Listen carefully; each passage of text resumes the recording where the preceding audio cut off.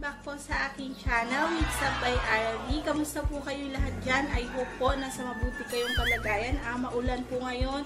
Sana po huwag kayong magpapaulan at iwasan po natin magkasakit upang ah, lumakas po ang ating resistance. At once again po pala, gusto kong magpasalamat sa lahat po ng mga nag-subscribe. At kung mga hindi pa po nakapag-subscribe, please subscribe po. Click the ah, subscribe button and the notification bell so that you are always updated po sa mga bago kong video. So, ayun, wag na po nating patagalin.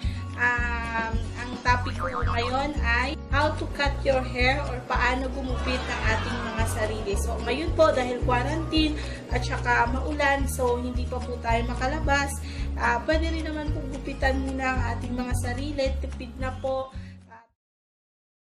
Mga mare, bago po tayo magsimula sa ating do-it-yourself haircut, ipapakita ko muna ang ating mga gagamitin. Dapat meron po tayong gunting, suklay, and then yung gown, and then itong blower. Kung naman optional, kung walang blower, pwede na pwede, pwede rin naman magpatuyo sa electric fan. And then, isahan, syempre, isuot natin yung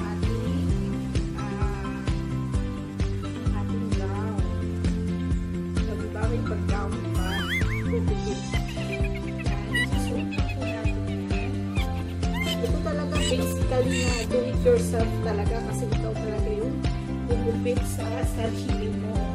Actually, sana yung gugupit sa sarili na ah, sa katala ko eh, ako lang din nagugupit ng aking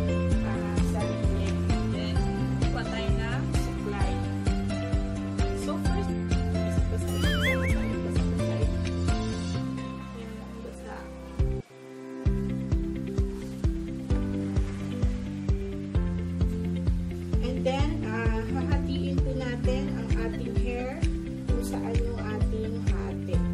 So, ganyan. So, ako minsan, madalas, ah, naghahati ako sa linya.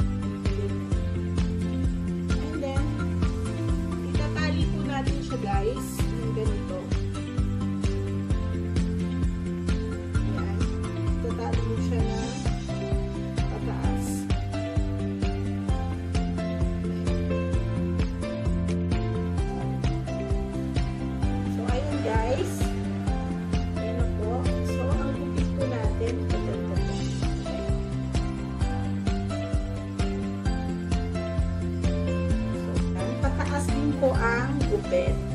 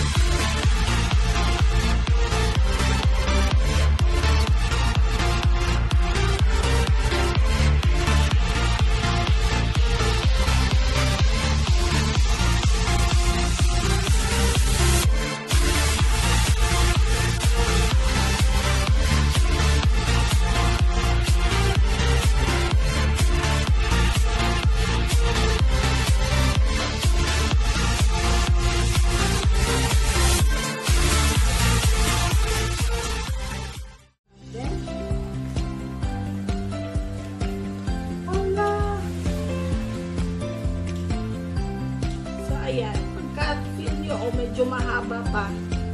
Pero, ah, nabawasan na siya.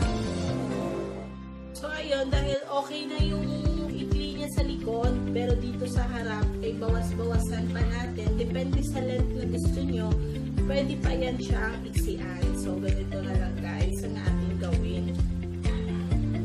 Ganito ang ginagawa ko. I-level mo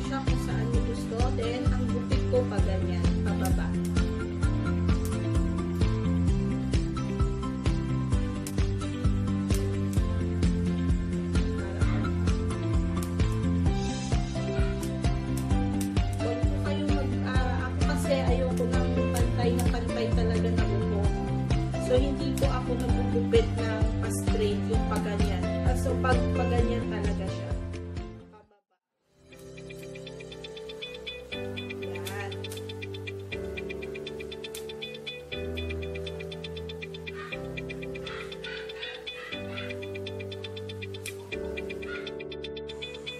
So, ayun guys, yun lang din ang ginawa ko sa uh, kabila, kung paano ko nilugutan yung sa kabila. Pag.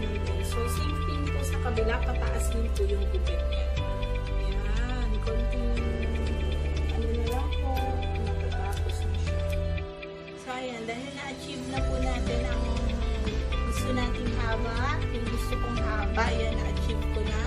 Ang next thing na gagawin natin ay blower na po natin. So, ayun. Pag nag-blower naman, kahit gantong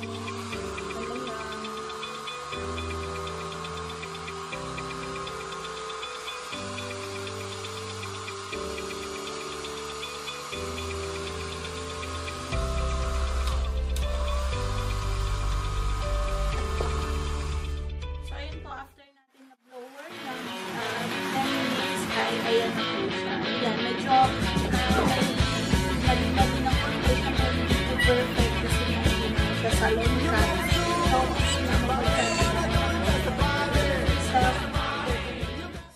mga mare, sana po ah, nagustuhan niyo po ang kanto ng aking hair. So, ayan, pwede naman na po mapagtsagaan habang ah, quarantine po and hindi po tayo makalabas. So, ayan, dahil mainit din po, kahit medyo maulan na, mainit